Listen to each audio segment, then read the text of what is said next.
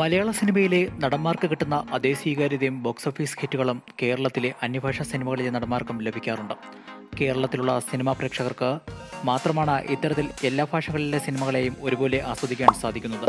ഇവിടുത്തെ സൂപ്പർ സ്റ്റാറുകൾക്ക് ഉള്ളതുപോലെ തന്നെ ഫാൻസ് അസോസിയേഷനുകൾ അവർക്കുമുണ്ട്. ഇത്തരത്തിൽ കേരളത്തിൽ ഒരു കാലത്ത് ഒരുപാട് ഓടിയ ഒരു സിനിമയാണ് വിജയ് നായകനായി അഭിനയിച്ച ഗില്ലി എന്ന ചിത്രം.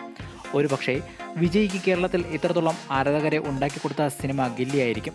മഹേഷ് ബാബു അഭിനയിച്ച ഒക്കടു എന്ന തെലുങ്ക് ചിത്രത്തിന്റെ റീമേക്കാണ് ഗില്ലിയെങ്കിലും കേരളത്തിൽ ഗില്ലിയാണ് ഏറ്റവും കൂടുതൽ ഓളമുണ്ടാക്കിയത്. വിജയ് തൃഷ പ്രകാശ് രാജ് തുടങ്ങിയവരാണ് ആ ചിത്രത്തിൽ പ്രധാന വേഷത്തിൽ അഭിനയിച്ചത്. ഇവരുടെ മൂന്ന് പേരുടെ കഥാപാത്രത്തോളം പ്രേക്ഷകർ ഇഷ്ടപ്പെട്ട മറ്റൊരു കഥാപാത്രമുണ്ട് ഗില്ലിയിൽ.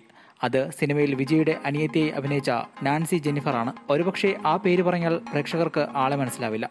വേലുവിന്റെ അനിയത്തിയായി ഫുവി എന്ന് പറഞ്ഞാൽ കൂടുതൽ മനസ്സിലാകും. ജെനിഫർ നാൽപ്പതിലധികം സിനിമകളിൽ അഭിനയിച്ചിട്ടുണ്ട്. ഇതിൽ കൂടുതലും ബാലതാരമായി അഭിനയിച്ച സിനിമകളാണ്.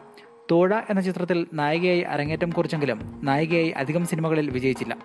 Sun T V Vijay T V തുടങ്ങിയ ചാനലുകളിൽ ഒരുപാട് പ്രോഗ്രാമുകളിൽ അവതാരകയായി തിളങ്ങിയിട്ടുണ്ട് ജെനിഫർ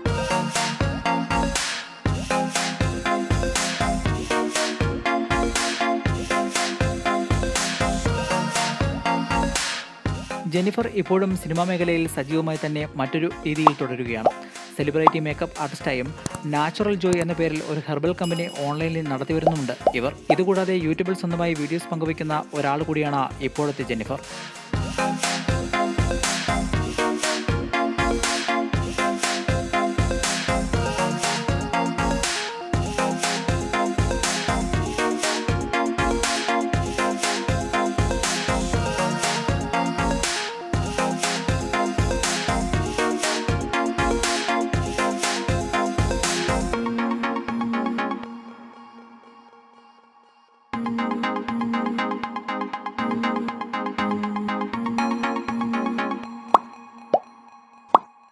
ജെനിഫർ